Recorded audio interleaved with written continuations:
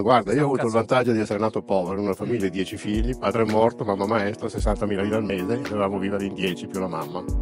E allora tutti abbiamo dovuto cominciare a lavorare fin da piccoli.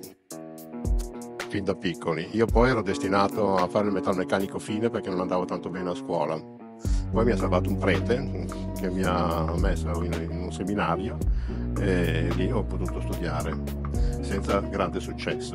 Al punto tale che arrivato in seconda liceo, arrivato in seconda liceo non riuscivo a tollerare l'autorità sopra di me. Sono uscito da questo seminario, mi sono messo da solo a portare 5 anni di ginnasio più 3 di liceo.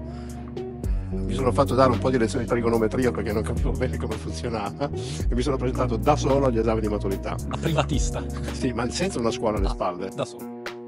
Prendi e lì cosa è successo? E lì è successo ho preso 10 filosofie, 10 storie, il mio tema è stato pubblicato sulla Gazzetta Varesina, cioè un successo spaventoso.